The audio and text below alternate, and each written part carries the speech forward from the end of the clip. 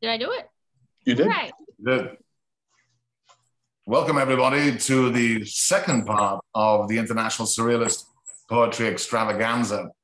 Um, tonight we have Will Alexander, Penelope Rosemont, Charles Kell, Toni Bailie, Oz Hardwick, Eugen Bacon, and Jeffrey Cyphers Wright will present presenting us with real puppetry surrealism today. Um, so hold on to your hats. We're about ready to go. Uh, thank you all for being here. And uh, also bear in mind, there are two more shows uh, coming up um, on August 7 and August 8 next weekend. So please don't miss those. So we normally warm up the mic a little. Um, and so I'm going to introduce my co-host, Jonathan, who founded Unlikely Stories, an electronic journal of literature and art in 1998. Since then, he's lent his editorial and management assistance to uh, many literary and artistic ventures, including Mad Hat, the New Orleans Poetry Festival, Rigorous, and Big Bridge. In 2005, he founded Unlikely Books, which publishes three to five books of poetry a year. He's organized literary performances and performed himself across the United States. His poetry books are Last Chap, Blood and Salsa, and Painting Rust, Prosthetic Gods, and Standards of Saturday, and the free e-chapbook, Backstories, which you can download from Argotist ebooks. Uh, look forward to hearing what you're going to read us today, Jonathan. Thank you, Mark. so as the regulars know, I'm not terribly prolific. So what I do most weeks is I read something that we recently published at unlikelystories.org. And this week I'd like to read I Play the Fox by James Cole.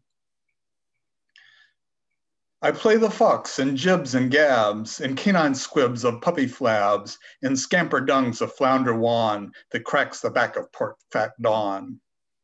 I play the fox in cradle theft and scootage text and jawbone heft and mangrove tucks, my measly flew, a bright like sky of haint moth blue.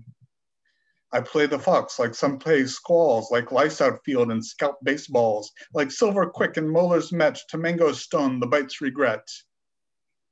I play the fox like I work hard, like sorry ma'am, is this your card? Like kicking Davis bruised his fool and aborted for he birthed the cool. I play the fox with checker screams, with someone hold me in my dreams, with verdi venti vinmo schmucks, which wholly see the crucifix. I play the fox with Mad King George, with thrice sent hells to dam the gorge, with bottle rockets crushed inside that one man show you all mile hide. I play the fox while some play snails, while some will their holy grails, while other feast on early bird, which forgot the worm, but was the word. Thank you. Again, that was James Cole. Um, I play the Fox and it's up on unlikelystories.org. All right, next I'd like to introduce our co-host Cassandra Atherton. Cassandra is an award-winning writer, scholar of prose poetry, and professor of writing and literature in Melbourne, Australia. Her most recent books of prose poetry are Pre-Raphaelite, Leftovers, and Fugitive Letters.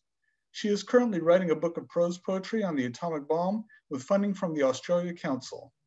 Cassandra co-wrote prose poetry, an introduction, and the Anthology of Australian Prose Poetry.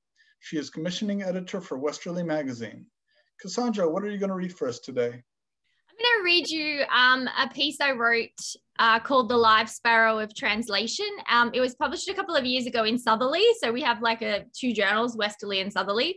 Um, and this one had a Persian theme. So I thought I'd be a bit cheeky with that. So, um, so this is called The Live Sparrow of Translation. On a slow morning in June, I came home to my Persian cat reading the Rubaiyat of Omar Khayyam. Stretched out on the rug, sunlight blanketing his back, he's annotating the quatrains with a thick pencil, scratching into the pages with scrawled marginalia. The usual shaking of the Friskies box won't shift his attention from the lines of poetry, nor does the SmartyKat ball that he dismisses with a raised eyebrow as it passes his toes. Bound in green leather, the book looks like a rare first edition with flaking gold writing on the spine and vanilla pages. When I see the Peter Harrington rare books packaging lurking by the waste paper basket, I'm overtaken by the vain hope that I logged out of my PayPal account before work. My cat licks his shoulder and tells me that as a purebred Persian, he's far more qualified to translate the text than Fitzgerald and exponentially more experienced in making judgments about live birds over stuffed animals as metaphors for translation, overstuffed eagles. as metaphors for um, translation. He flexes his paws, telling me he's been on the phone with Penguin all morning. They're sending him his advance in the mail if all goes well, and the fluffy translation will be on shelves by Christmas. So I would like to introduce Marc Vincenz, the wonderful Marc Vincenz. Join in if you can, an Anglo Swiss American poet, a fiction writer, translation, translator, editor, publisher, designer, multi genre artist, and musician. He has published 15 books of poetry, including more recently Becoming the Sound of Bees, Leaning into the Infinite, The Syndicate of Water and Light, Here Comes the Night Dust, and Einstein Fledermaus from SurVision Books. Vincenz' newest collection, The Little Book of Earthly Delights, was just released from Spuyten Duyvil and has a beautiful cover. An album of music, ambience, and verse, Left Hand Clapping, is forthcoming from Tree Torn Records. Vincenz is also a prolific translator. He's translated from German, Romanian, and French. He has published 10 books of translations, most recently Unexpected Development by award winning Swiss poet and novelist Klaus Merz from White Pine, and which was a finalist for the 2016 Cliff Becker Book Prize in Translation. His translation of Merz's selected poems and Audible Blue is forthcoming from White Pine Press in the fall. Vincenz is editor and publisher of Mad Hat Press and publisher of New American Writing. Here we go, people. He's lived all over the world, from Brazil to China to Iceland to India. He was born in Matilda Hospital on the Peak in Hong Kong, but now lives on a farm in rural Western Massachusetts, overlooking Herman Melville's Greylock Mountain, and where there are more rabid wolf spiders, smooth green snakes, and red throated hummingbirds than people. So there you have it. Mark, please, will you read for us? I will. Thank you. Um, this piece comes from uh, my my manuscript in progress. There might be a moon or a dog, um, and it's called Plurabelle.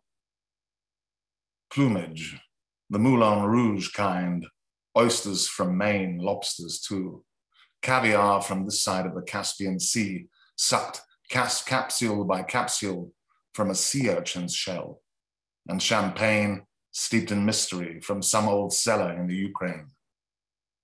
What do the cynics say? You ask half mockingly. I never pay attention to the cynics or the critics, I lie. Who doesn't lie, you say, adjusting your pearls. The jazz singer croons on, adjusting his bow tie. At the bar, you say, Where does this leave us?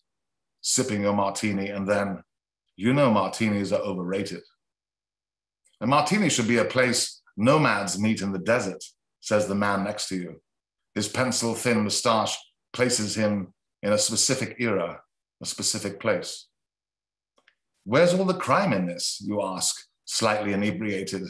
Ask him how long it takes to learn the can can, you whisper, then laugh out loud. You said you never paid attention to the cynics or the critics. The giraffe in the martini is seeking distant woodland plains. And another short one. Unhand me, you cad, is the title. That secret life passed by lit by clouds. You woke up again, stirred in your fiery pillars, crossed land to edge land with those innocent eyes. Somewhere in the knees, I felt it when you saw the city lights from the hills. As you descended into the dark, your cool hands pressed together. That is my tree, you said, purring. I want to be a tree like that, I said whirling in my dizzy head. That night, the great snows descended, here where the crossroads meet. The clouds became one, and a white light burst across the sky. I was like a lump of clay in the road. You were like a peacock, preening but half petrified in fear. Hold me fast, you said.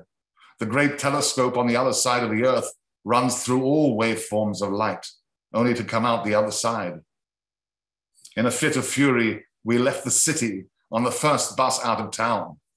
We hit a neon sign on the outskirts, which read, Get your mixed metaphors here. And so um, I'm delighted to commence the proceedings um, of the Lit Balm International Surrealist Poetry Festival. Uh, and I'd once again like to welcome all our readers. Um, I know Will Alexander has been in and out. I hope, are you online, Will? Looks like his signal is not working at the moment. So I think, Oh, Can you hear Will, me? Will, you there? Yeah. Yeah, I'm here. Okay, great, great. Computer signal was off. Okay, great. Good. Um, so let me let me introduce you first, and then we'll we'll get going. Okay. Um, based in Los Angeles, poet Will Alexander is the author of numerous collections of poetry and nonfiction. From his first book, Vertical Rainbow Climber, published in 1987, to the very latest, The Combustion Cycle from Roof Books um, and Refractive Africa, uh, coming out from New Directions in November this year. He is the recipient of the Jackson Poetry Prize and many other awards. Welcome, Alexander. Uh, Will. Thank you. Thank you for having me. I'll start and I'll maybe conclude with a single poem here. It's called The Optic Wraith. And uh, her eyes, like a swarm of dense volcano spiders woven from cold infernal spools, contradictory, consuming, clinging to my palate like the code from a bleak inferno laundry. Now, my understanding of her scent is condoned as general waking insomnia, as void, as a cataleptic prairie frayed at the core by brushstrokes of vertigo. In mazes and scents, balances conducted within the spore of a freshly cut alum. So that she lends to me a de-enlivened motion, a tortured hummingbird sortie, as if I had buried my breathing in vitreous claims of acid, condoned to wearing on my back the remnants of a dark infernal laundry. Because her presence exists, I always write to myself notes of withdrawal, notes of flameless nautical urges, igniting my disappearance as if a flame had blown my body in two, ruined in its essence by an animated squalor, like a disrupted stone divided in a blazeless infidel's mirror. At times, I feel biform and therianthropic, therefore sullied, unclassifiable with rumor, with omens, with sabotage, like a sun in a squandered maelstrom house. A love affair by debit, by shattered interior pulley, with one of my meandering acts raffling off poison by camouflage. Say, after 5,000 hours of post-battalious fervor, I became anonymous in Carnadine, Salamandrine, and Eth in Ethos, trapped by her insidious optical infiltration. My powers suspended in an optional well of dice, wandering its bottoms in distorted plastique, with the rays of a body more pertaining to the scepter hand, more pertaining to the feelings that have abandoned themselves across blizzards. Life now occurring within contagions, occurring within the five calignous motives spun from acts of devastation. So I apply myself to the sculpting of treacherous grain, creating from depletion a dense, ambiguous treatise on wood. As combatant on a galleon, I am boiling, faceless, transcendental with display, so that I'm rooted and ceaseless with movement, withdrawn and cataclysmic, then ambiguous with rain, never mentioning to any of my emotions, despair, or any rift in terms of clinging or pattern. So when I think of optics, each of my shadows collects around a pole of a fierce and blazeless assessment. Identity then collapsing around a stunning shift of myrmidons, of bloody Daleks, of steam from the pores of mirages. I am de-identified in brokenness, my atoms subsumed in harems of spittle. Therefore, I wander within the fright, within the moon of her blank volcano arms, her sensations like a three thrice conceived lava pouring from a riddle torturing urn, an urn which I know to be destroyed, eaten by a photic transparency. I then remain the riddle of the blazing galleon, the pariah, plunged through psychic, psychotic mirages.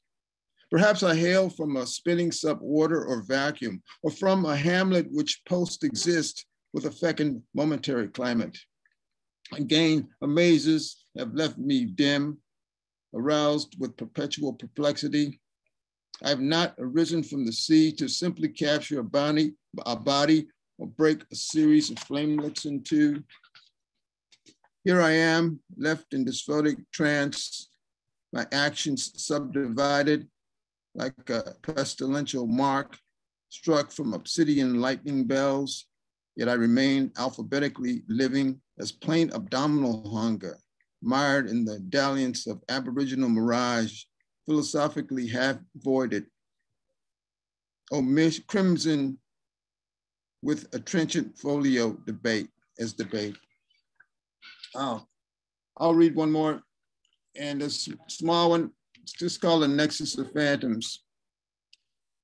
In a lorikeet cave, motions exist of disintegrated swans in a trench-located lake brimming with harvested poisons sealed by corruptive postmortems. Such swans staggered by microbial reasoning, their aggressive nest anatomical with anomaly, with drifts of strenuous incarnadine leanings, with a thirst which hurdles conspiratorial invasives, alive with coronal oceanics, open like a clouded trail of rendings. Analogous with the auks, the pelicans, the mergansers, perhaps with the petrels and the gannets under the power of darted mocking orations. The swans looking back on solemn blood perusal, like a form of death breaking roses on the shore. It is the example of phonograms of lost and compacted lenses, turning within the, a charismatic fall line or an isoneph, or what an avian would announce in Greenland as a catabolic wind.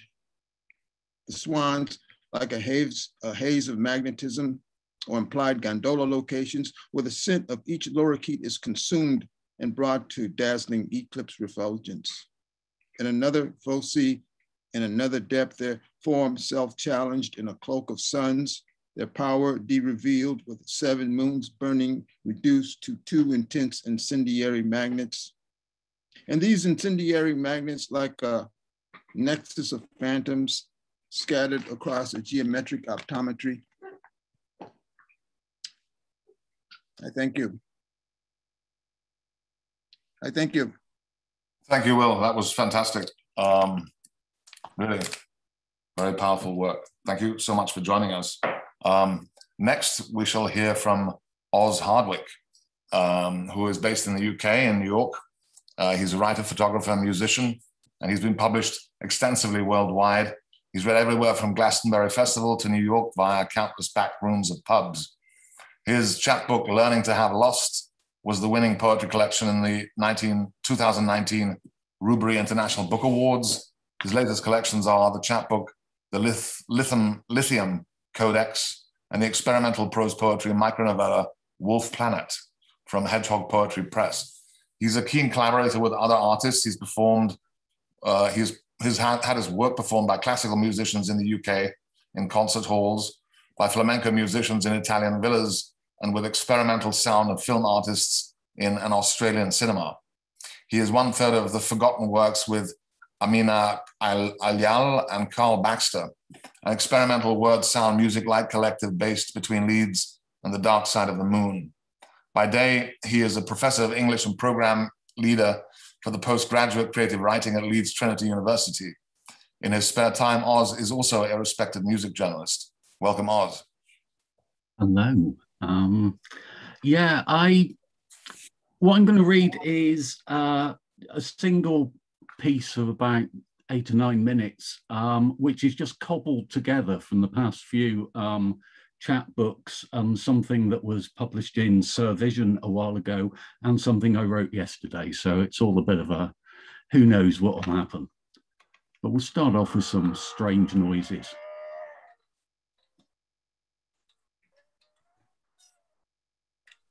Ahead of schedule. We're entering the realm of science fiction, strapping ourselves into reclining chairs, watching screens fill with a planet that looks something like the Earth we remember, but less detailed, less hospitable. Entering into the spirit of things, we adopt expressions of heroic concentration and end each sentence with over Who'd have thought that dystopia would be so mundane? Who'd have thought that parallel worlds would be stacked so tight together there'd be no room left to breathe? Rivers run black, and when we check the likelihood of a breathable atmosphere, the data's inconclusive, winking digits demanding caution while confirming the lack of alternatives. Scans estimate a population of almost 8 billion humans, but the only voice in our retro headsets, sizzling through static that blisters like boiling fat, is the big bad wolf, suggesting last minute adjustments and promising a warm, warm welcome. The capsule window only opens a crack, but it's enough to let time in with all its practice diagnoses and passive aggressive concerns. It sits too close, asks if I've been looking after myself, comments on my weight loss, feigns interest. Running its fingers through the dust on the TV, it suggests housework, cooking, decluttering, recommends exercise, yoga, a beach holiday, a new career, cosmetic surgery, and a fairy godmother. I'm used to its tottering concerns, precarious as Jenga on a pitching ship, swaying, ready to tip at the slip of a nervous breath. So I close the window, but time's still in here, its head pressed cold to my lap like a dead seal, suggesting the 24 hour shopping channel, recommending a higher dose. With hands like candle stubs, I ease down the zip between now and never and see a street in a city I recognize from movies. It's that city where serious towers bend clouds into animals like balloons at kids' parties. That city where the streets stream with bikes and yellow taxis. Sidewalks steam in the midday sun and the scuzz of sizzling meat nudges through like the unknown hero returning from a myth in the making. There's a kiosk selling scratch cards, and I hand over a fistful of loose change that changes into a flight of neon dragonflies. Everyone's a winner here, and I'm handed a second-hand second chance at the split second I step through that split between now and never. The zip sticks, and I'm in a film I've never seen before. The rips before anything of consequence occurs. It's never been easy, and now's not the time to be taking risks, but I'm tempted to close my eyes and stroll into the endless traffic. But on a bench by a corner, the big bad wolf sits, blowing on rigid fingers that he's bitten from hands that have fed him.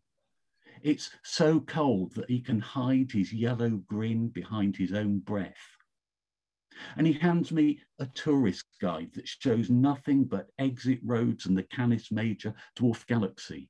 He crosses himself and then crosses the street. Jesus wants me, whistling, Jesus wants me for a sunbeam, his rough paw slapping a child's tambourine.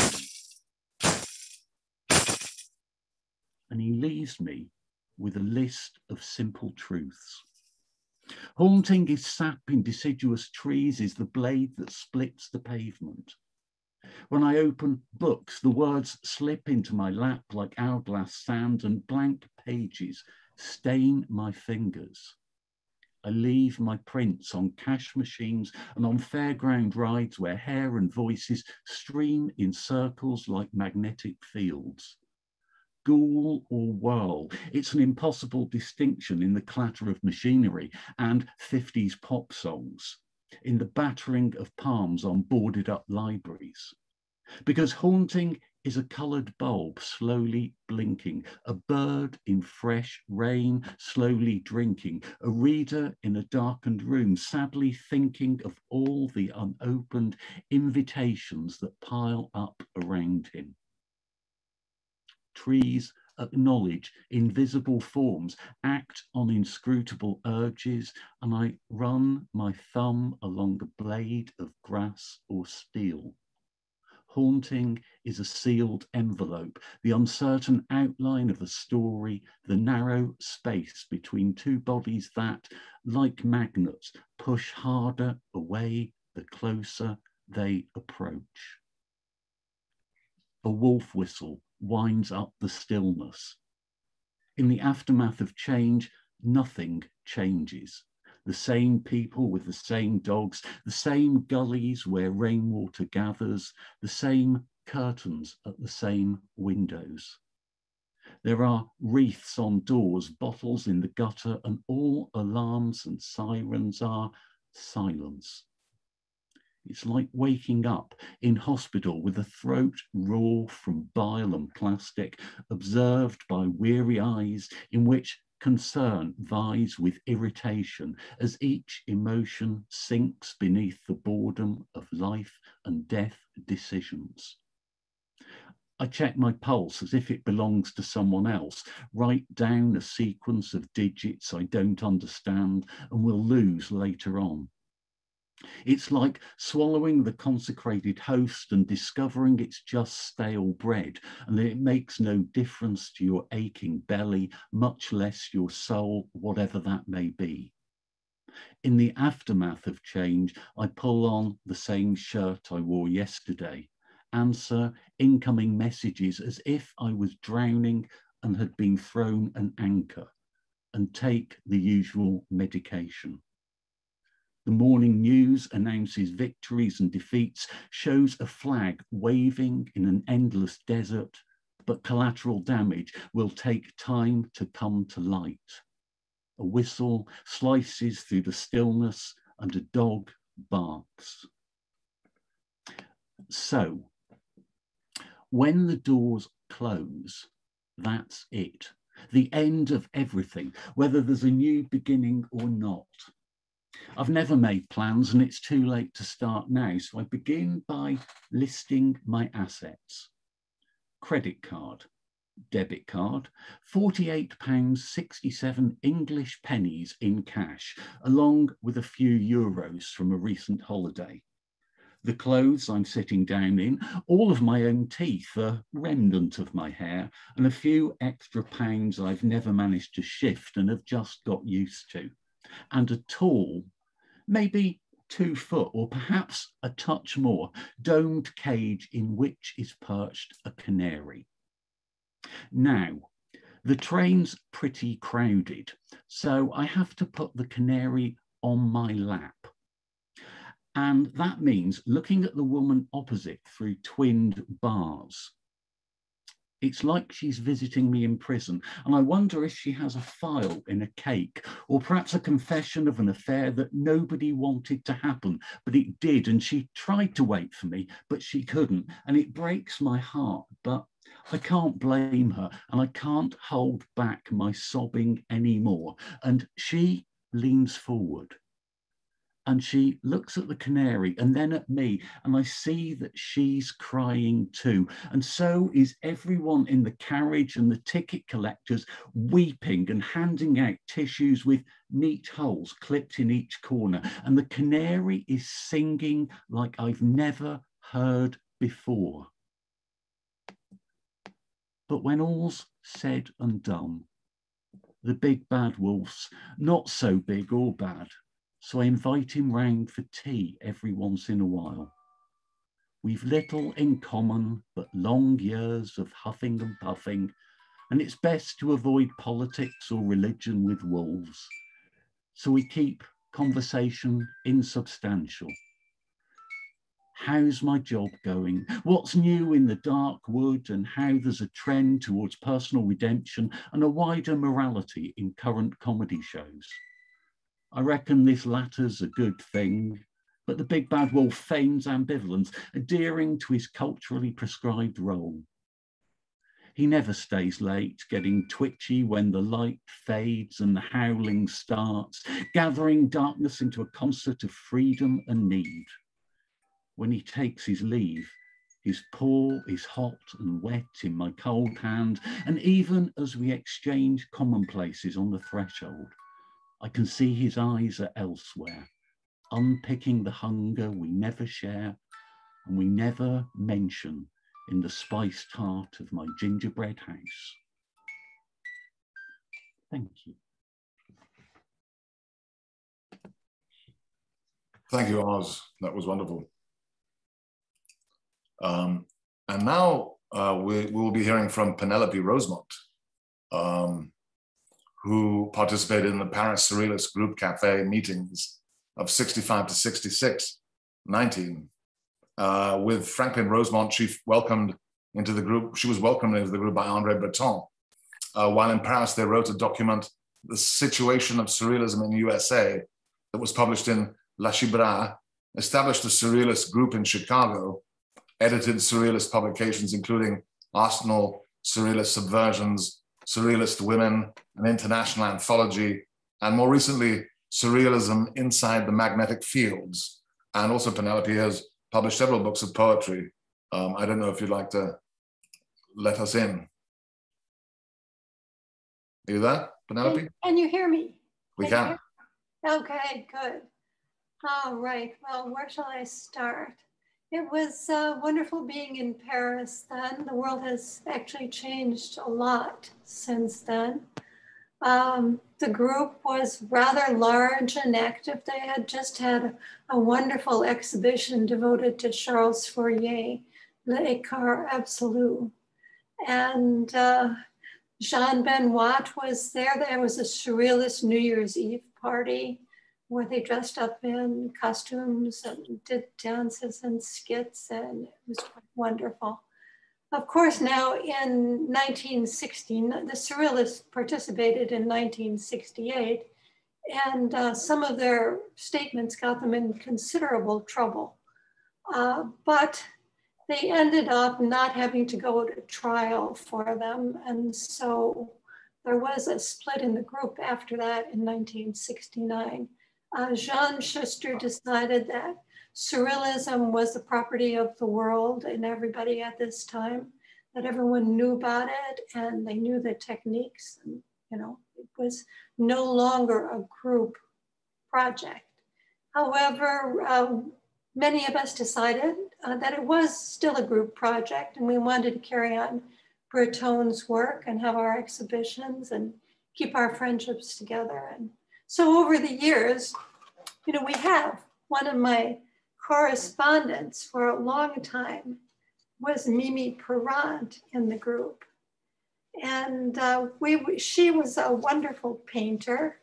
She actually worked in, in a bookstore, that was her job. And uh, so, you know, I, I, I, I wrote things that I thought Mimi would like. And we kept up quite a correspondence. Now, somebody I didn't correspond with, but I heard about her work a lot was Toyen. And there is a book coming out now by Karla Huebner on Toyen, and it's a magnificent book. So I, I really recommend that. So I wrote a little poem for Toyen. It's called Rising Asleep. The wind today is full of fish. The branches of the trees are full of mirrors whirlpool woven of wilderness. Your knife is an octopus. Your lips are a dance. Your two hands are revolving doors. You are the North Pole. And of course, I also knew Joyce Mansour. She was a wonderful poet, wonderful erotic uh, poet. And she is going to be, well, she has died, but her work is going to be part of an exhibition in New York called Surrealism Beyond Borders that's being organized by the Metropolitan Museum by Stephanie D'Alessandro. And so I'm eager to see what they will have of Joyce Mansour. They're also featuring Ted Joans, which is amazing and wonderful. They claim that he was the link between so many of us, and he was. It was through him that I met Jayne Cortez, and so many other surrealists. So, uh, so anyway, Ted's work will be represented. His giant, exquisite corpse will be there. Uh, and, and then the other person that I knew well who will be represented in this show is E.F. Granell. Uh, Granell was uh, active in the Spanish Revolution, fighting for freedom. And then he moved to New York, where he did magnificent paintings. Uh, so his paintings and his work will be there. Other than that, they had explored how surrealism is represented through the internet. So I don't know whether we're going to end up with some wonderful, fantastic art or whether it's going to be what I would call, you know, truly heartfelt surrealism. But it's certainly going to be a fascinating show. And that is going to begin at the Metropolitan Museum in October, and it's going to be at the Tate Modern in February. I hope that the pandemic won't, you know, keep us from going because I'm eager to see this. So, so then, you know, there's a million poems I'd like to read, which is very, very, very difficult for me to choose. But I'm going to choose a couple in Surrealist Women. This one is by my friend Nancy Joyce Peters. And Nancy has been done so much to talk about surrealism and women. I consider her our philosopher. So many of her essays have been printed in some of our books. And of course, she was a backbone at City Lights Publishers. She really was a great friend of Ferlinghetti and kept things going there. So this poem of hers is called To the Death of Mirrors. In a tedious evening of trick or treat, history got stuck, required to deliver the goods. Ladies of glittering infamy threw their children under the bed and headed for less wretched climates. Under the supervision of a mad cycle that leaps from the very bridge, in a fury of spokes, the day commits new crimes. Aviaries are slain, just as if wings were of no importance. The animals are disappearing, though somehow they're under everything we think and feel. The day is vampirized. It wears a cloak of genocide. It wears the hat of an occult numbskull. It can no longer speak. Do you know, I don't, I don't know if you can still hear me, but my computer may be having problems. So um, I'll, I'll go on though. You're uh, fine, fine. No you can problem. hear? Okay. Yeah. In the unarticulated foliage of the world's great wings, we act. We will put up the sign of human liberty. We will rent a room in the house of transmutations and never give away the key. So I love that one. And then, well, actually putting this book together was wonderful. It took me a few years, but I didn't ever really want to stop because uh, it was so fantastic. Then one of the great poems that we have lost, that Will Alexander will know who I'm talking about, is Jayne Cortez. And I met her through Ted Joans in New York with Mel Edwards, who does magnificent sculptures. And so I'm going to read part of this wonderful long poem of hers. Sacred Trees, Every time I think about us women, I think about the trees escaping from an epidemic of lightning, the sacred trees exploding from the compressed matter of cuckoo spit trees, the rape trees flashing signals through the toxic acid of sucking insects, the trees used as decoy installation trees I have the afternoon leaves throbbing in my nostrils. I have the struggling limbs sprouting through these earlobes. I have a power stump shooting from out of my forehead. I have a cluster of twigs popping from my tattooed moles. And sometimes I feel like the tree trunk, grown numb and dead from ritual behavior. And sometimes I feel like the tree ripping from the core of ancient grievances. Trees, I feel like the family tree relocating under pressure. Trees, I feel like the frantic tree trying to radiate through scorched surfaces. Sometimes I feel like the obscure tree, babbling through silver plated mouth of shrinking moon. And sometimes I feel like a tree hiccuping through the heated flint of gunpowder crevices. Sometimes I feel like a tree, and every time I think about us women, I think about the trees. I think about the subversive trees, laden in blood but not bleeding, the rebellious trees encrusted but not cracking, the abused trees, wounded but still standing the trees with quinine breath hovering, the trees rubbing their stretched mark bellies in the rain. I think about the trees and I feel like a superstitious tree, smelling negative and fragile, full of dislocated sap. I feel like the tree stampeding from a cadre of earth tremors. I feel like the forgotten tree that can't live here no more. Sometimes I feel like the tree that's growing wild through the wildlife left in the petroleum pipeline. I feel like a tree caught in the catacomb of bones, enslaved in the red light districts of oppression. I feel like a barricade of trees.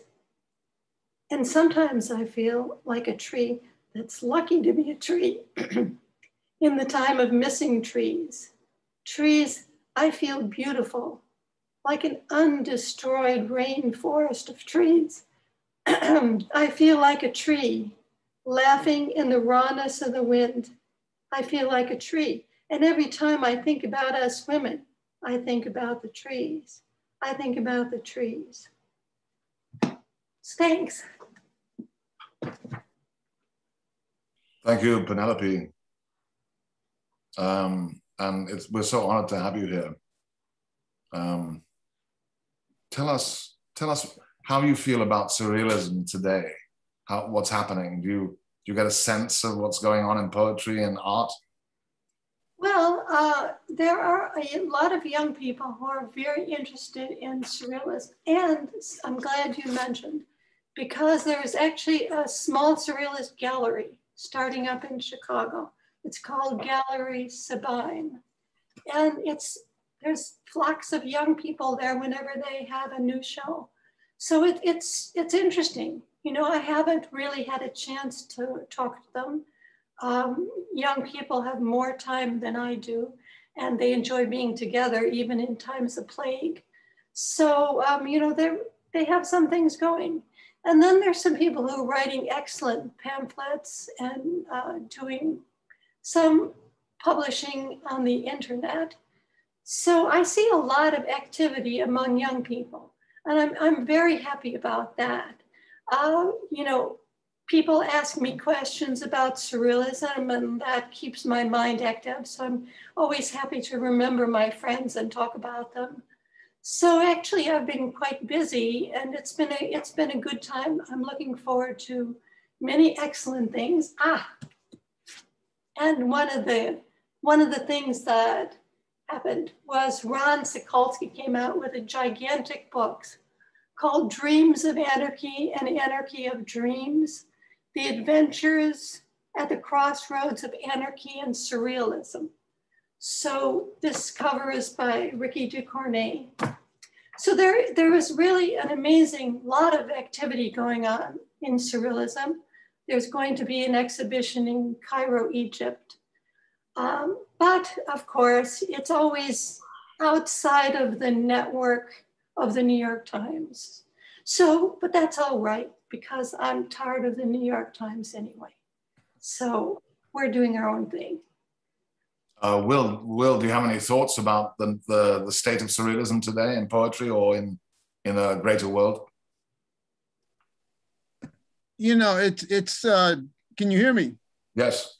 Yeah, I'm thinking about the, the transmutation of surrealism and uh, the, the energy that surrealism has brought us, the other mind that, that has been active throughout the whole, the whole of time.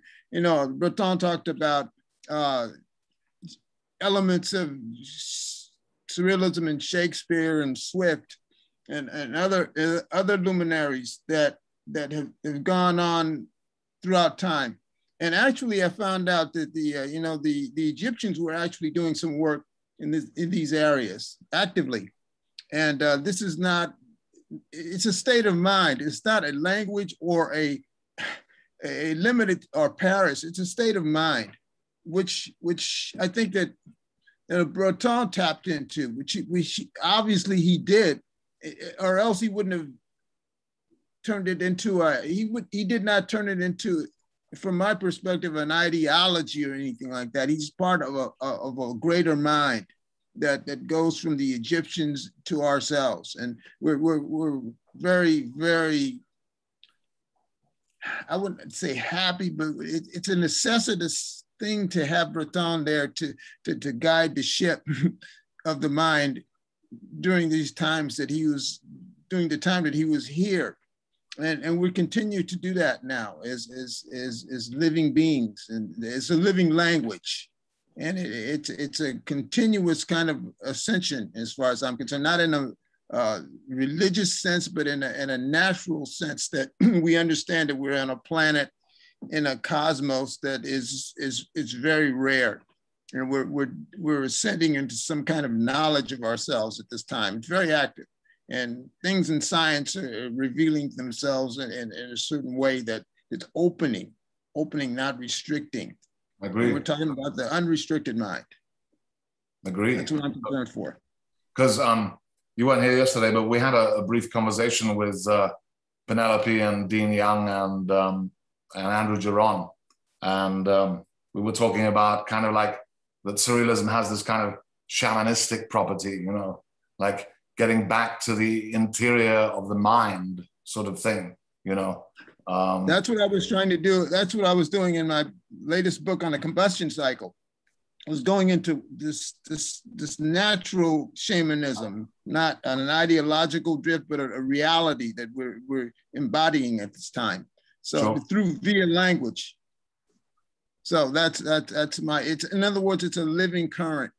Language is a living current and we're, we're trying to put that current into to motion. In this conference in Cairo, which I hope to attend, is is going to be an, an, enlivening event. As Penelope says, it's outside of the mainstream understanding, and which is behind and dangerously behind at this time. But we want to involve ourselves in the climate in all parts of creation that that that's happening to us as, as living cosmic figments and, and not as literary figment, figments, but as cosmic figments. And uh, that's what I, am concerned for in my work. It's, it's a trans, trans, obviously transmundane, but transpersonal activity.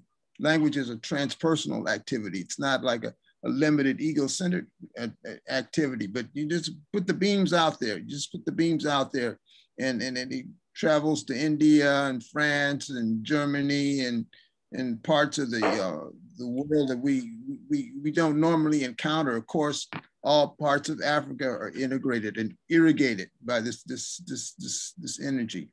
So you know, I'm thinking very, about it's this. Very, it's very musical as well, right? It's very musical, very musical. I'm I'm always brought back into my understanding of what it is to improvise, and I don't understand it, but I feel it. I feel the improvisatory context, having had a chance to witness Jackie McLean and, and activity and Philly Joe Jones.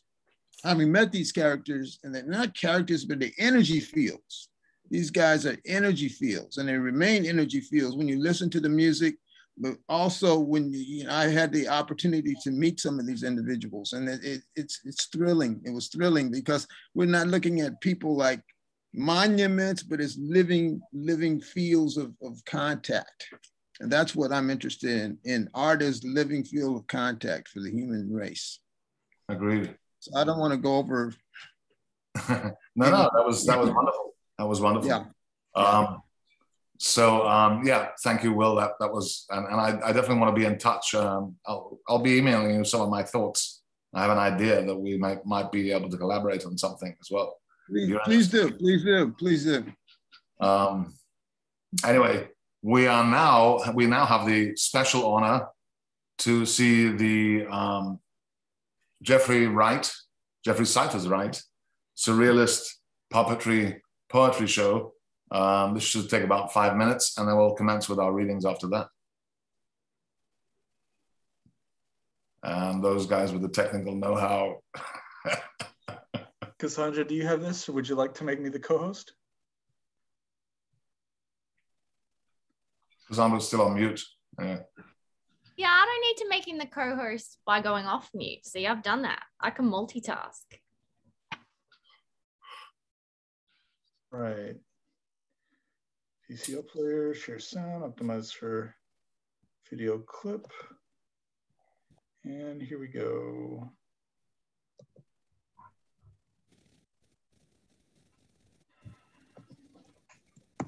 Sorry about this. He's controlling it. Yes, I'm not going to try and do that. No, don't touch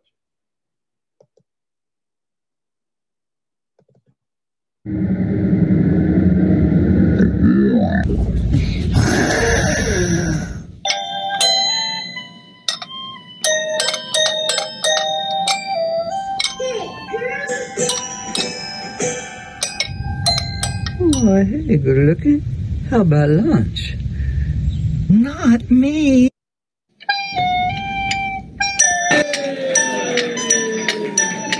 Let's live in the dark, under the big top, and sharpen night's quill.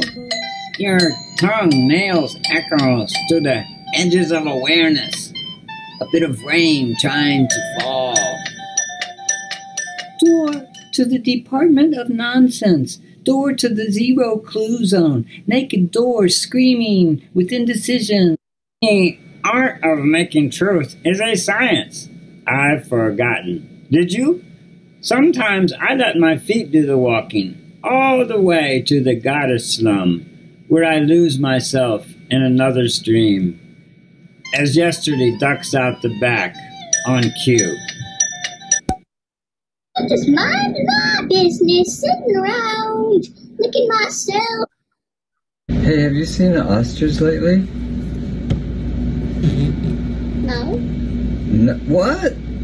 You know, a door begging to be let in, a red door in a radioactive cage, a door made of drought, a hungry door with lockjaw, door petrified doors dying to escape.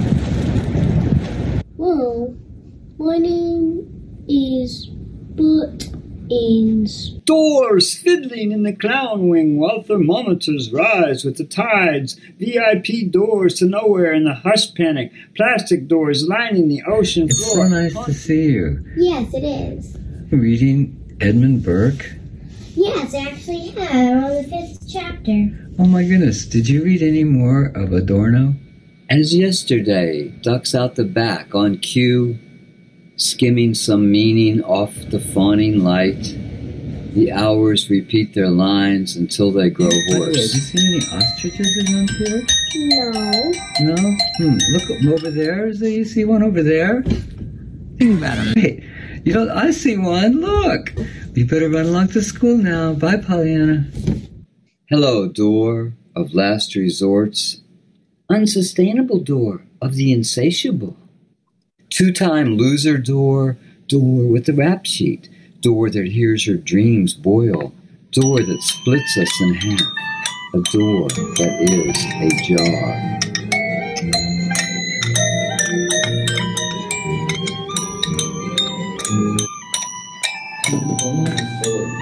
I am Pierre. So nice to see you. I am going to recite for you a poem.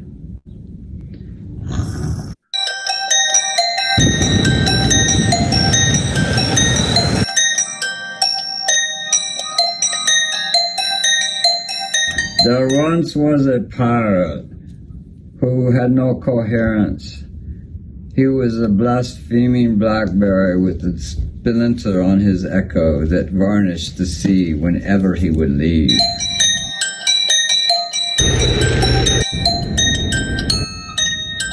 And when he died, the bark on the trees stood at attention, and the morning clouds squeezed all of Europe.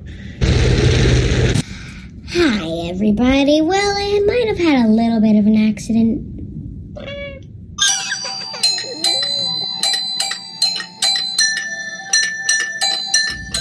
Are you horny? Who? Who? Who? Me? A pair of paradoxical doors. A door that's in a jam. Alibaba and the 40 dwarves. For everything slippers. I generally NASCAR the pump break.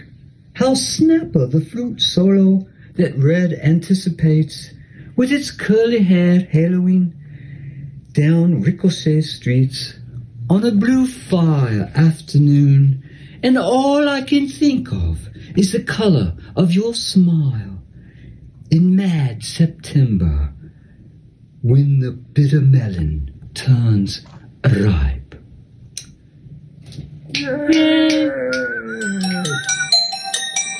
I'm crazy for you, door, but you are crazy, crazy door that I adore. You were born to die before.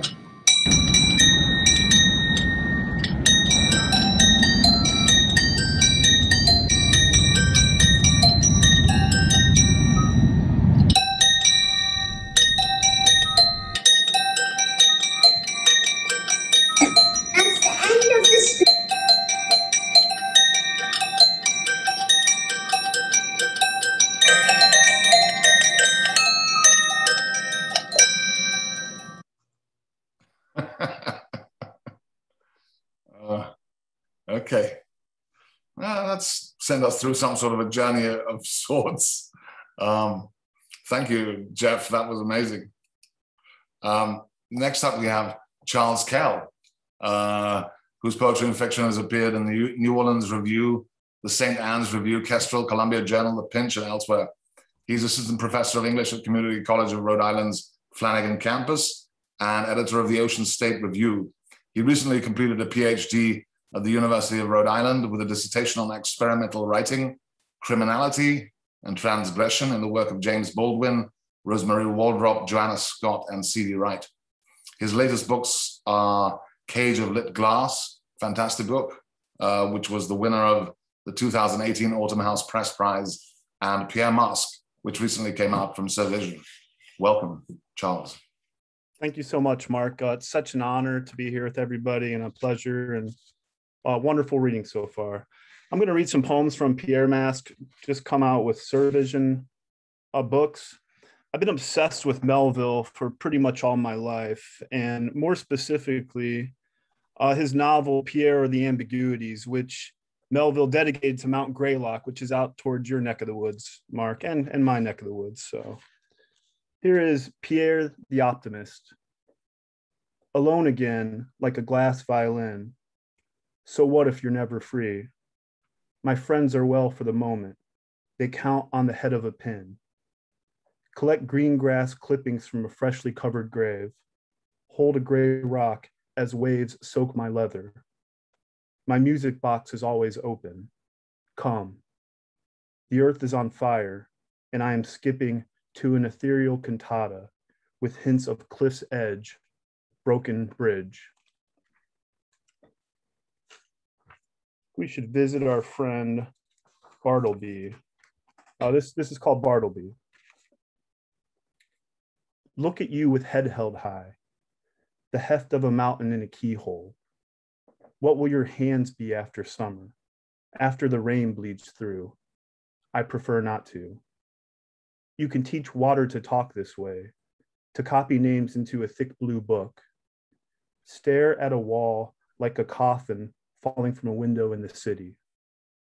In the office, breath hovers over gray steps, lemony ink. See one walking with bent back, On the cloudy ledger, flecks of torn skin. See him chewing his watch like a leaf. Dead letter office. I wake in the cemetery, raise my finger to the foggy sky, and draw a slanted mausoleum. Place what's left of my father's ashes inside its mauve walls. Prop the door with mother's wooden leg. Carve a window in the granite so my last phantom has air. Each suicide, a successful attempt at sublimation, the gravedigger warned me. I am crawling naked in circles on a mountain of femur shaped spirea. This is what the Bible promised. I am. A beetle, fingers and toes flail in the wind.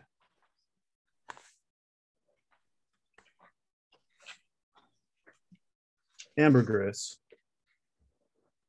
Here, underwater, bubbles or bells, whales, cathedrals, who spin in coruscating kelp while we mimic the ribs of divers, this one paper lantern barreling toward the bottom of the sea. I chew tinfoil. Here, in Bruges, bells are soaked in salty brine. I kill time. Tiresias counts important green pebbles. See my scabs shine behind foil wrapped oleander.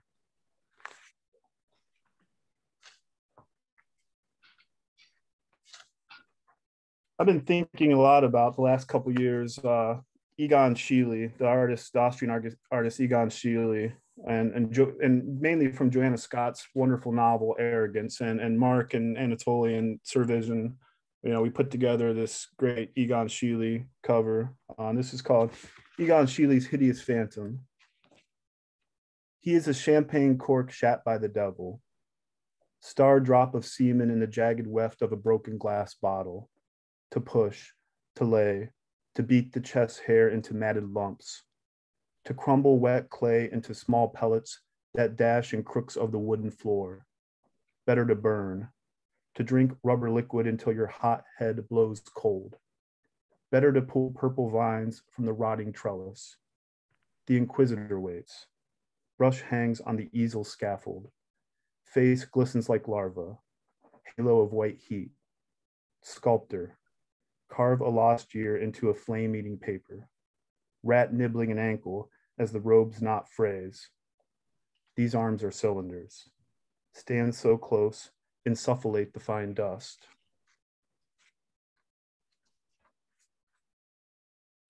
Here is a, a triolet about, well, it's uh, about the Bosch painting, St. James and the Magician Hermogenes. He stares into a face that is not really a face.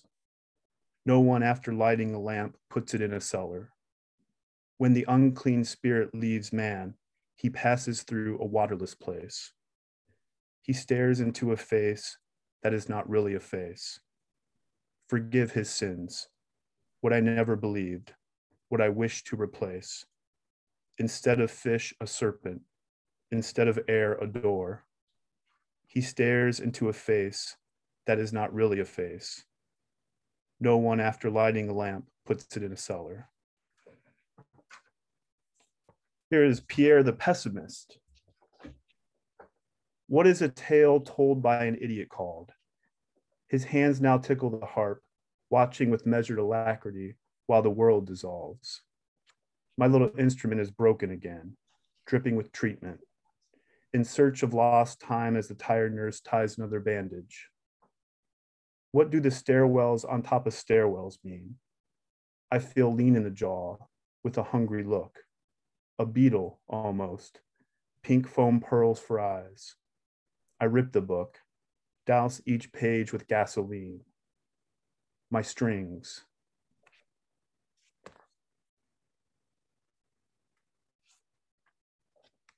Melville with a beard of snakes. Sandpaper tongue, Mephistopheles. Quiver of a saw in wind, on your knees naked in the mangroves, perforated with nails. He is a robber on the run, aloft in a galleon, floating on a whitecap over the Indian Ocean. Felon, Loose Virginia tobacco rolled into a delicate pin. Smoke floats, a curtain of bees. There is no pier, no shelter, no bottom, destination. Water never ends. There is no Boston. In a locked room, I have eaten Jules Verne and turned into a loom.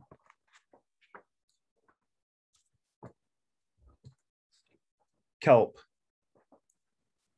The sea is covered in kelp. We drag a rod behind the boat to gather it, then pull it in by hand. When we return to port, the kelp is unloaded onto horse drawn carts, then spread out to dry until the whole beach is black with black kelp. For three years, our bones ached. We needed money for food. I've spent my life thinking about people who are gone. Thank you so much, everybody. Thank you, Charles, very much. Thank you. Um, next up, we're going to hear from uh, Toni Bailie, um, who has had four novels published and three collections of poetry and has been included in numerous anthologies and journals. His novels, Eco-Punks and The Lost Chord, were both published in paperback by Langham Press. His third collection of poems, Mountain Under Heaven, uh, published by SurVision Books, won the James Tate International Poetry Prize for 2019. His earlier collections, Coil and Tranquility of Stone, are both published by Lapwing Publication. Welcome, Toni. Hello, thank you very much. And um, uh, I feel I found my tribe here. This is my first visit to this, uh, so it's just been absolutely stunning. So I feel very, uh, very lucky to be involved. Uh, I'm going to be reading mostly from my collection, Mountain Under Heaven, which was published by uh, SurVision Books. Um, so uh, I'll just start reading, and then there's a bit of a longer sequence in the middle of it. So, Mountain Under Heaven. As world changing events unfold on TV, I sit cross legged and cast the I Ching, hoping to establish a counterflow, not with any sense of faith or belief, but a stand against the rational, a bid to surf on chaos. Hexagon 33, ton, mountain under heaven, the image of retreat, and so the superior man keeps the inferior from him, not with anger, but reserve. Uh, it's called Night Sizzles. Sodium glow swirling, yellow tinted spiral of light that twists and slithers like urine down a drain, gurgles into darkness. Light sizzles undulating, electric shimmer, tangible like static.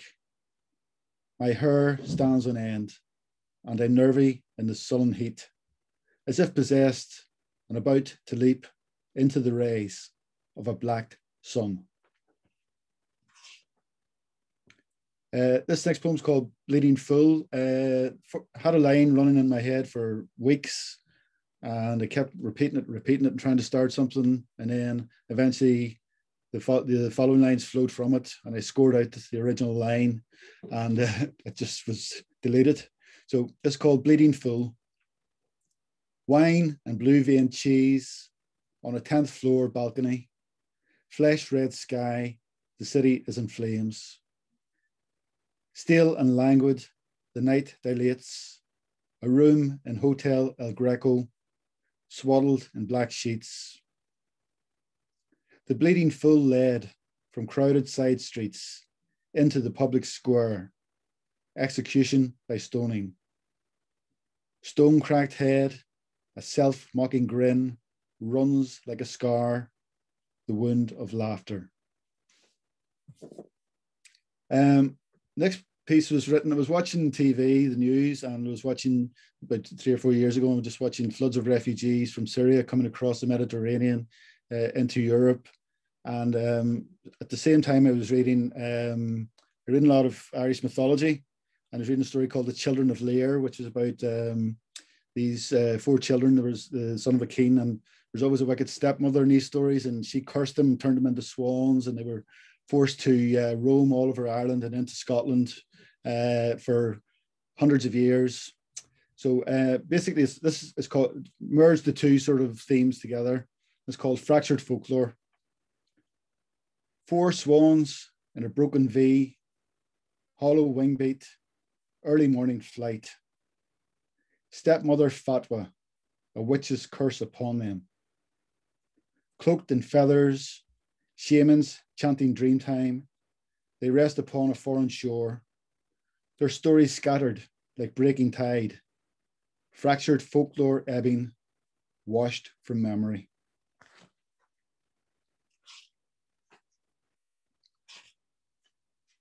Uh, it's called Duende. Duende, as I'm sure you all know, is the uh, theme in flamenco whenever you reach, uh, reach a state of ecstasy through music and dance and through singing. Duende. She falls into chaos, plunges freely, writhing and kicking, arms flailing. Flamenco dancer semaphore, a call to follow her. Um, we're going into a sequence of poems here now called Sweeney Keene. This is based on a 10th century um, Irish cycle of poems called uh, Swiney, uh, The Madness of Sweeney. And it refers back to 7th uh, century Ireland uh, to a king called uh, Sweeney, who cursed, who um, was cursed by a monk. The monk was blessing land, and Sweeney threw his prayer book into the lake and was cursed by the king and turned into a bird. And uh, once again, turned into a bird and forced to uh, wander all over Ireland. And again, it's the themes of alienation. He was an old pagan, and uh, the Christian Christianity was spreading throughout Ireland. So he was a man out of his time, uh, which I'm sure a lot of us feel like now. This is called Sweeney Keene. Uh, it's actually um, uh, part of a, a, digital poem, which is currently running as an exhibition at the minute. So um, after I finish, I'll post the link. Uh, there's a YouTube version of it, and it's it's a poem combines uh, a soundtrack and um, various digital images. So this is the live version. Sweeney Keene. He lies as cold as a fledgling in snow, cast from its nest to shiver and weep, abandoned and stripped of all love, reborn as Sweeney. His skin has been gouged by bramble and briar, torn by wind whipped thorn, plucked open by wind and frozen by snow, flesh raw and on fire. Naked and bleeding and half alive, he shivers under a bush. Blood drops quiver like new sprung blooms, stolen bundles of fruit.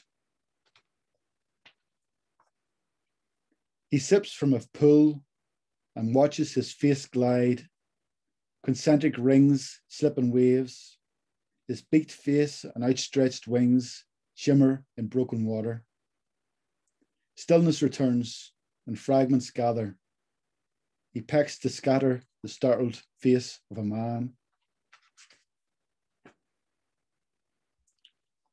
The rooks chant vespers in their leafy stalls black cowled monks, pagan prayers croaked to their crow god Sweeney. Late comers circle in twilight, dark angels among elms caw throaty hymns of praise. Sweeney still and heron like, rigid on a river bank, reflecting on the water, half caged in a row of reeds the current tugging at his knees, he stands in meditation. A vision of another life, a half dream in the twilight.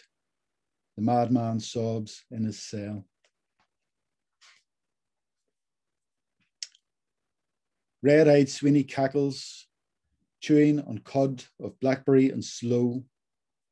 Muddied in the ditch, he buries his head in browning bracken Scrawny legs twitch in the cold as the monk cursed Keene whistles words.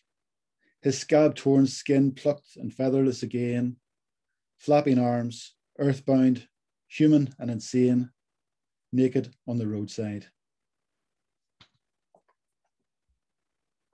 Trussed by rope and wire, tattered wings splayed and bound, Sweeney lies crucified. His captors probe his open beak and shine lights in his eyes, pluck at his skin and twist his neck and latch clips to his side. Then comes the fire and frying flesh, the searing of his brain. He flails and fights against his ties as lightning strikes again. The captors leave and Sweeney rises and falls into a swoon. The birdman curls into a ball, choking in the smoke filled room.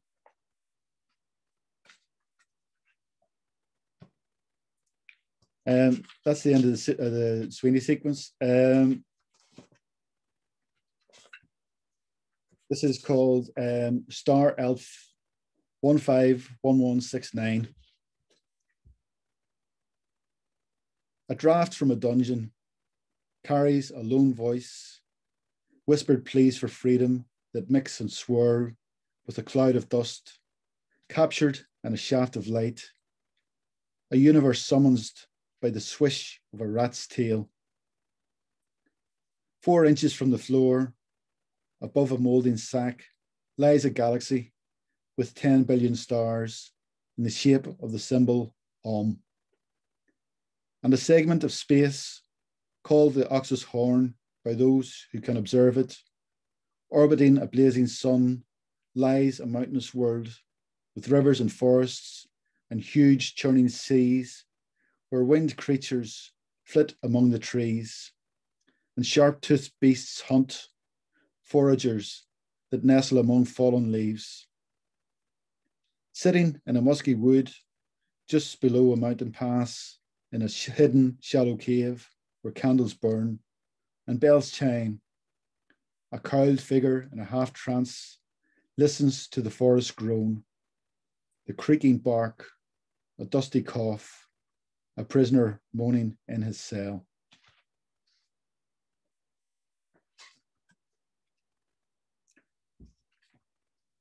Uh, this piece is called Managua. Um, I work as a journalist, and um, a few years ago I went to Nicaragua to report on uh, child labor.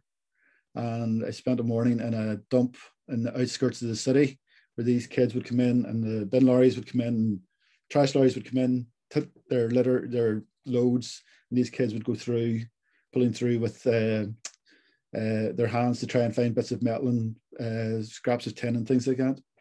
Uh, so th- this is more the impression of it rather than the, the journalism of it. Throat clogging dust swirls in coned eddies, many tornadoes that rise and twirl in spiral tips that suddenly collapse and scatter. Acrid smoke sears my eyes. Snakes and wisps, drifting tendrils wrap themselves around me.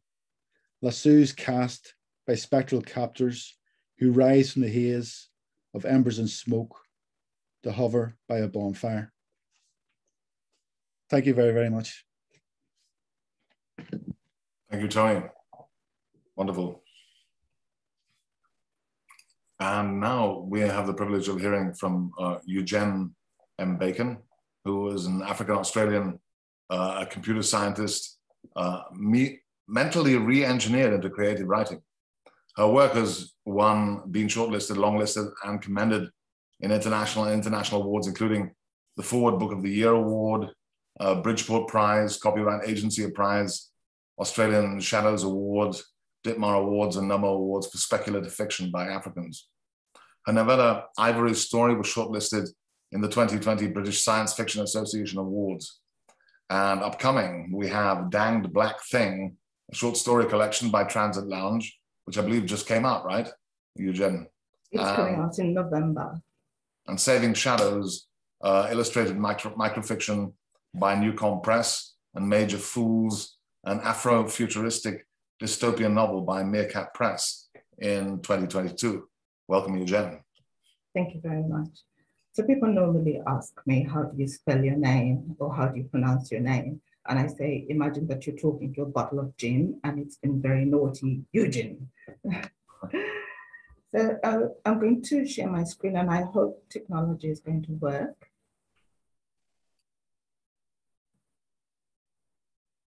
I am going to share with you pieces of prose poetry.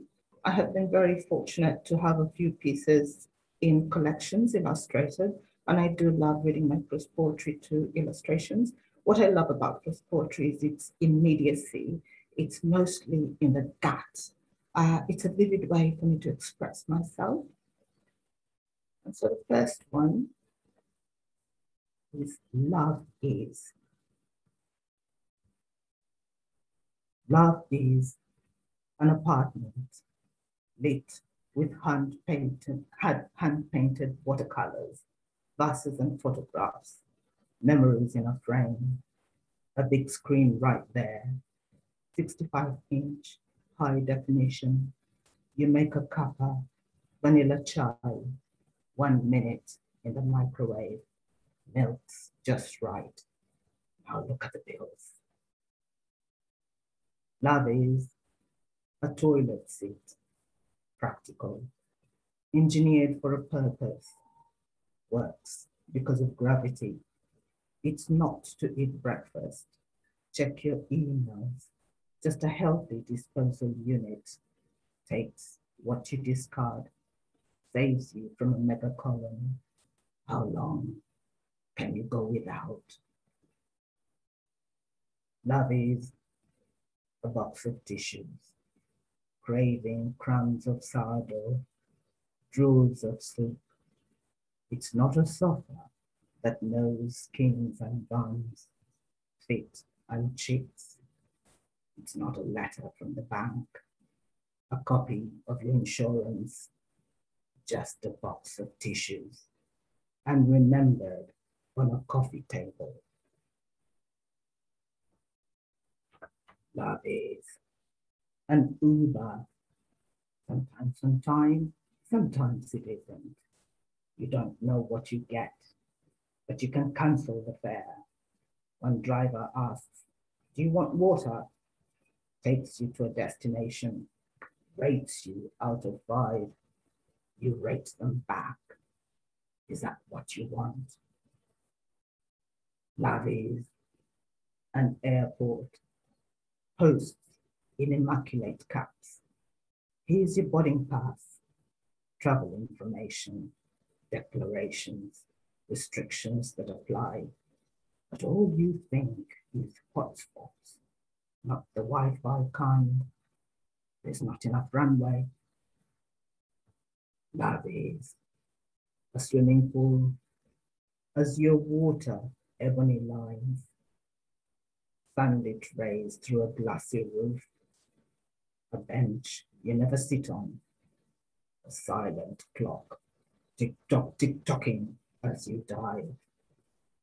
Mostly you're alone, bubbles as you breathe, shimmers on the lanes, dead lizard on the floor, water's ruffled when you leave.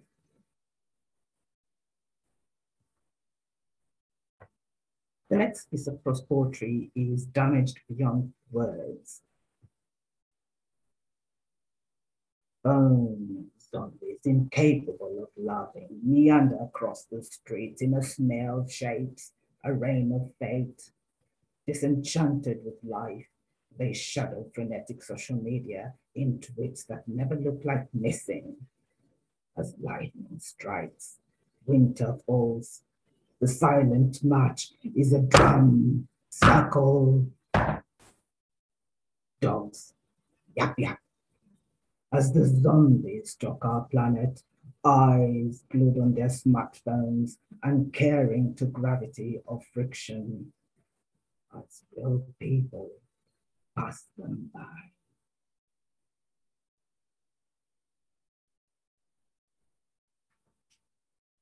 She was together she was together with her companions when she found him in a sea of bones, a big-eyed child with a thatch of hair. She lit a fire and belly danced through dusk as he pranced along, celebrating birth or death. She curled herself around the boy before dawn to protect him from early transfiguration When wind was no more a whisper, she wept on his chest, and he breathed fire to put out her tears. Live. Oh, how high he soared.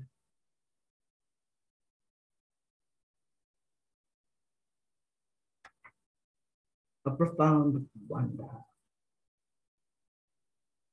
He stepped back into his body and wondered who would find him when the world was too busy with trending.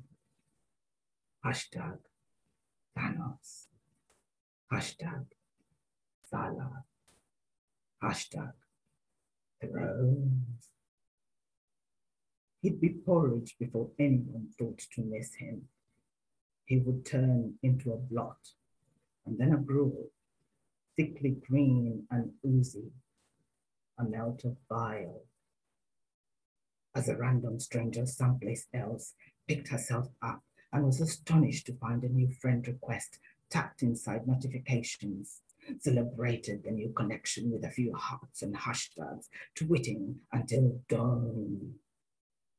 Hashtag White House. Hashtag Bachelorette.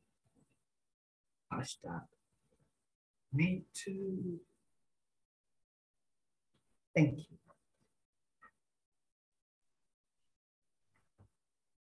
Thank you so much, Eugen. Um, and thank you, everybody, for this wonderful um, reading, reflection on surrealism tonight. Um, thank you, uh, Will, Oz from the UK. Penelope, thank you for joining us for a second time. I hope you'll see us next weekend as well, even if you're in the audience. I'd love to pose a serious question to you at that time.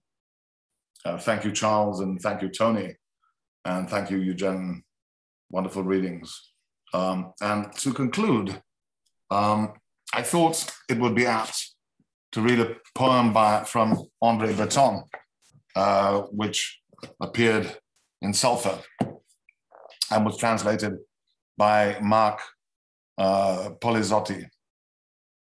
Allotropy. The electric buzzer rings once more. Who's coming in? It's me. Pull yourself together if you want me to put you together. The closet is full of linens. There are even moonbeams that I can unfold. You've changed. Here's the proof that you've changed. The gifts they give the dead in their coffins, the gifts they give newborns borns in their cribs are almost the same. The arrow shows the direction you're coming from, where you're going. Your heart is on the path of that arrow. Your eyes, which again shine bright, cloud over with the mist of things. Your hands grope along a road for the dark needle that can prevent catastrophe. You see the women who have loved. Without them seeing you, see them. Without them seeing you, how you've loved them without seeing you. The black wolves in turn pass you. Who are you? Shadow of an evil doer on the high walls, shadow of a signaler stretching farther than the signal. I am the primary guilty party, as well as the primary innocent party. My head rolls from on high, where my steps will never fall. What makeup? No one will recognize me. Later, between the stones on a heap, the window is wide open. On that magnificent heap, bend forward, bend forward to change again. It is indeed you who bend and change. That photograph you forgot to have toned is so like you. Good night, everybody. Thank you so much for this wonderful evening. Um, once again, we will be with you live next weekend from start to finish. There are amazing people that uh, we have yet to hear from, including uh, Charles Bernstein um, and um, Robert Archambeau, Carrie Etter, Paul Hoover, Sam Truitt, Michael Ruby, Nikki Javashilio, um, and Pierre Joris and Nicole Peyrafitte. Uh, and next week, we have Charles Alexander, Luke Beesley, Andrew Joron appears again. Today, he told me he had to play theremin with Clark Coolidge's band, which I understood.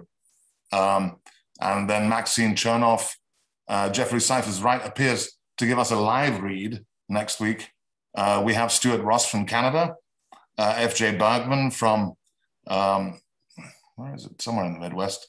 Um, Linda Black from the, U- from the UK, right, Cassandra? Yep, she is from the UK. She's amazing.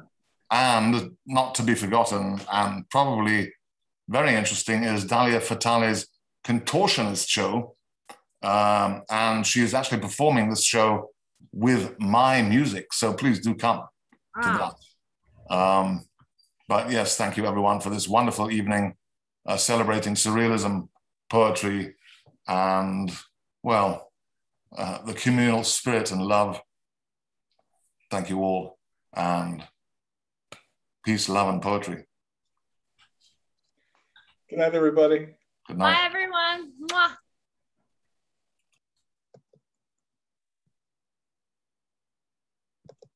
Good night. Good night. Thank you for the reading, Night. everyone. Coming. Hope to see you soon. Good night. Good night.